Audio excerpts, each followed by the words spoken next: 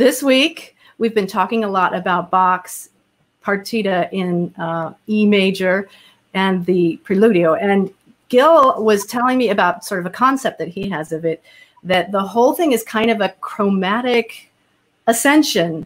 Um, so that's to say, a chromatic scale. Some people may not know what a chromatic scale is. I'm going to play you one. It's just if you were on the piano, you would, would hit every single key, black and white. So it sounds like this.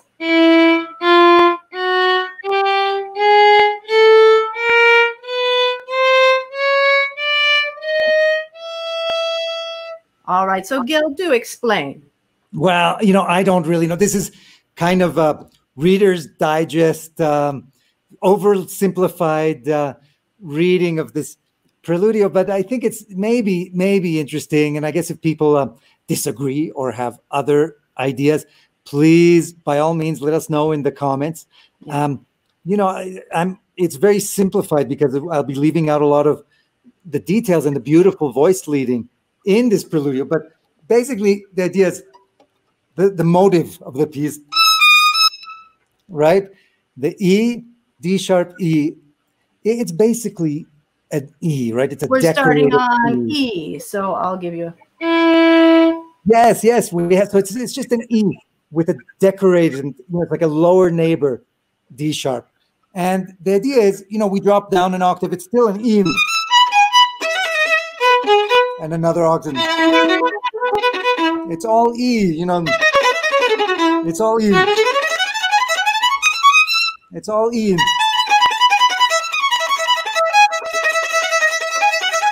It's all in.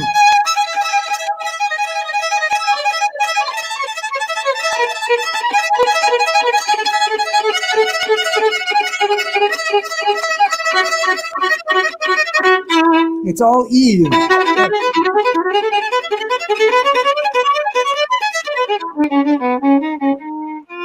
Wait, what's that? Right. So now the E has become an E sharp.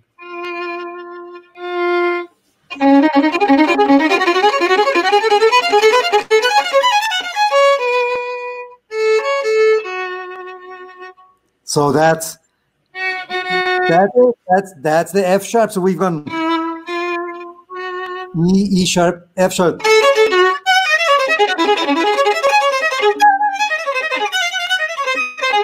And somehow the F sharp is still there.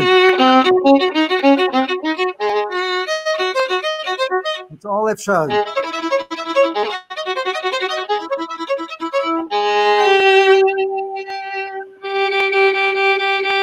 And what's That's that? G. That's the next note. No, Oh. It's an F double sharp. Oh, That's the F double sharp. F So double sharp. Sometimes done- I would think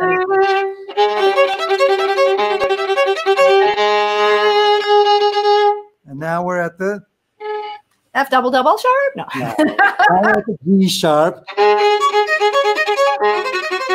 And this is all G sharp.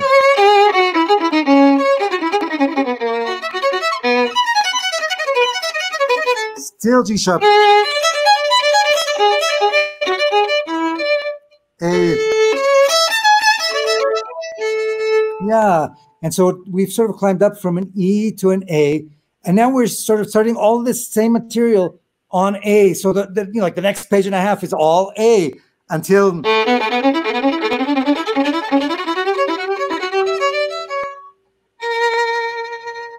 A sharp. A sharp.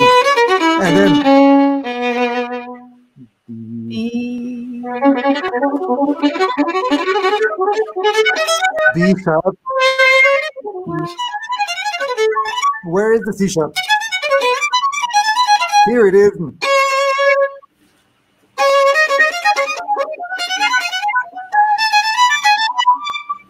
And here it's a little bit tricky because the, the D actually isn't quite harmonized, but we already have a hint here. The highest note is the D. Maybe we will get to the.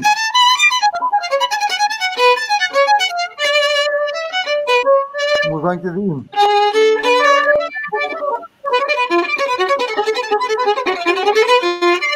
Still D. Although I hear C sharp here.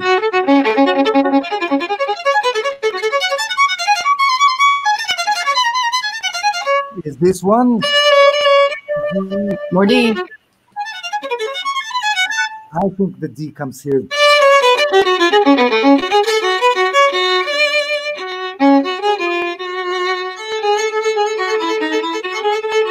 And now it's like, now we're looking for the D sharp, and it, and it does come. But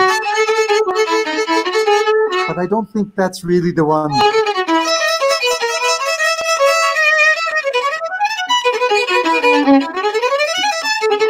And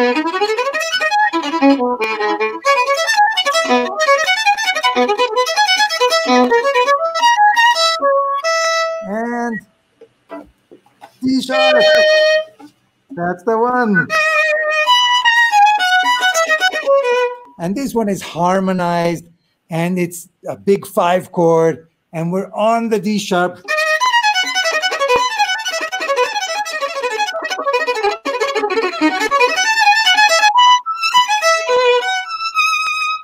Finally, all the way up to the to the E. And what's cool, of course, is that we start on the one chord on the tonic, and then we have a big five chord. You know, we go, we climb up chromatically to the five chord, and, and so that's E, D sharp, E, right? That's that is the motive of the whole piece. Except I this time, instead of instead of going down a half step and then back up a half step, we actually climb up 11 half steps and then finish it off. There are so many things to listen for in Bach, and, and here's one more. It's pretty cool. That ascension, the whole entire piece. It's just just kind of a speculative thing, and, and the, the voice leading is much more complicated than that. But I can imagine Bach sitting at the organ, improvising, and keeping track of okay, which half step have I reached now? I love it. Thank you for sharing that, Gil. That was that's so cool. Thanks, Laurie.